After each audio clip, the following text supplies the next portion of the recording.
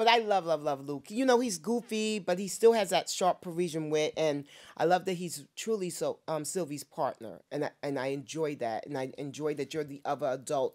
Yet you are kind of like, at first glance, you can kind of be waved off, but no, you are a powerhouse in your own right.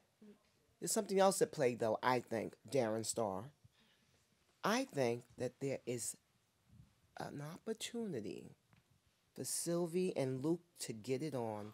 If only for one night. If only for one night. I and I thought it was gonna happen with the opera. Listen, I totally agree. I don't know why. Ever since season one, I told Darren there's something happening between the two. Remember?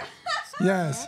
I want to see that. or, or maybe Oh. it's already happened. Right. Oh, but then that means that we can revisit A- Absolutely, of course. because we need to see it on scene. I'm on the on the on the screen, darling. Oh, it would be I'm the taking- dream I'm of taking notes. Philippine.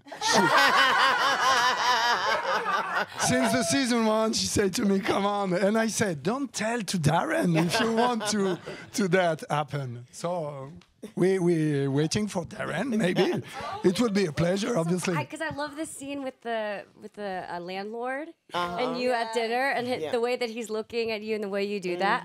Oh my gosh! Wait, did something happen between them? Yeah. I would love I would love to go to the opera. Yeah, yeah. We want to know what happens. Well, can I get a co-writing credit for that if it happens? Well, you- for- no. Doesn't work that it. way. It doesn't work that way. Are you sure? Anything is possible in the Darren Star universe.